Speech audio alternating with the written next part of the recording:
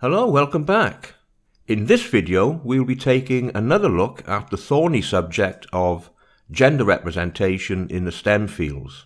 Now, this video is based almost entirely on an article by William Collins.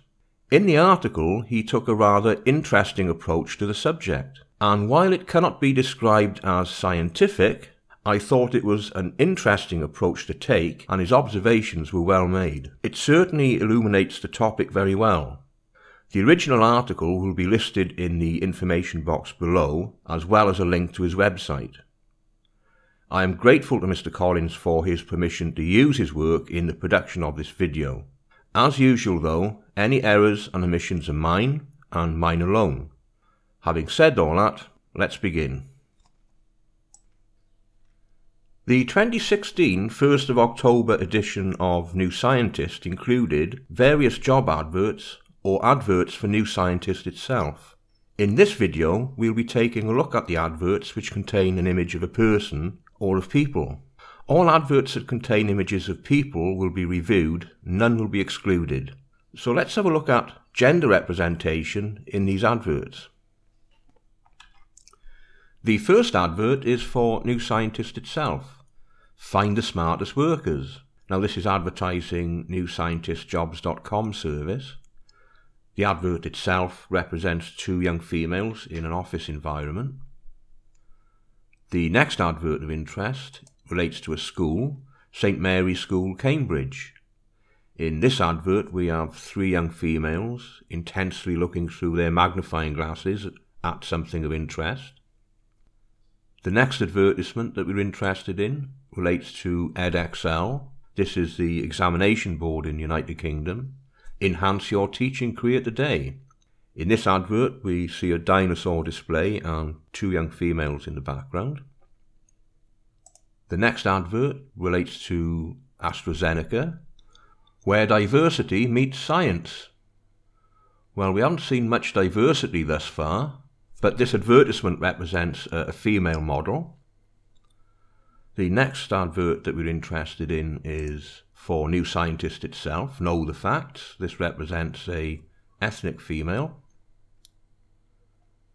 This advertisement relates to teacher training bursaries, and we have two young pupils, females, and a male teacher. Finally, we have the Department of Education advert, which has been run almost every week for many months. And this advertisement represents four female pupils and a female teacher. So, those are only adverts that contained images of people. If you weren't keeping score, there were seven advertisements. Within those seven advertisements, 16 of the people were female and one was male. That makes male representation in the advertisements 6.25%.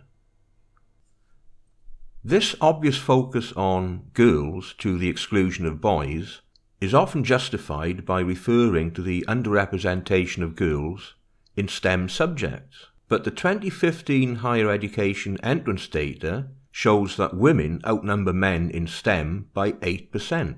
In other areas of study, women outnumber men by a far greater percentage women now gaining 35% more degrees per annum than men. So what exactly is the excuse for this flagrant gender bias of these new scientist adverts? Well, there isn't one. In the UK universities now, there are four and a half times as many women studying psychology as men. In preclinical veterinary medicine, women outnumber men four to one. In law, there are now twice as many female students as male students. In languages and cultural studies, there are approaching three times as many women as men. In teaching and education, there are nearly six times as many women as men. The most extreme case is nursing, where there are nearly ten times as many women as men. But even excluding nursing, there are twice as many women as men studying medical and dental sciences. Women even outnumber men in agriculture, 1.4 women to every single man. So I leave you, or rather those responsible for placing these ads, with the following thought, taken again from the same edition of New Scientist.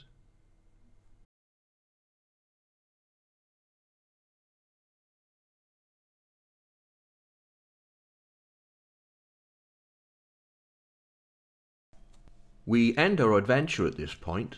I hope you found something of interest in this video. If you would like to support my channel, I now have a Patreon page. If you're unable to support my work through Patreon, then you can share, like or comment. It's all good. Thank you for watching.